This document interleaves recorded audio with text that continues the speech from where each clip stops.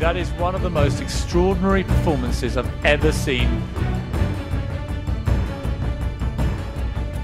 It's one of those performances that I will never, ever forget.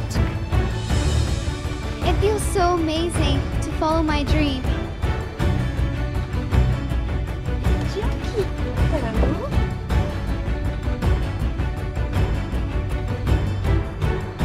This is the moment. You're the star.